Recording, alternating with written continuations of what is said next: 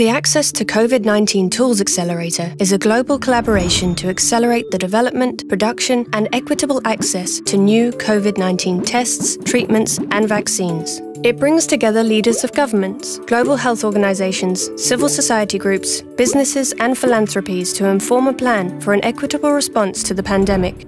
There are four pillars diagnostics, therapeutics, vaccines, and strengthening health systems. The diagnostic pillar aims to bring to market high quality rapid tests, train 10,000 healthcare professionals across 50 countries, and establish testing for 500 million people in low and middle income countries.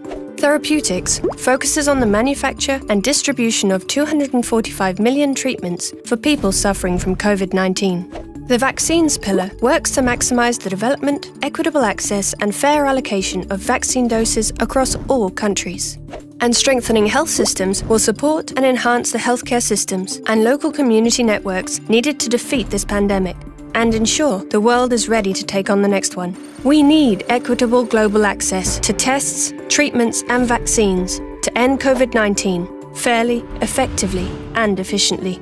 Because if one of us is at risk, we're all at risk. We're only safe when everyone is safe.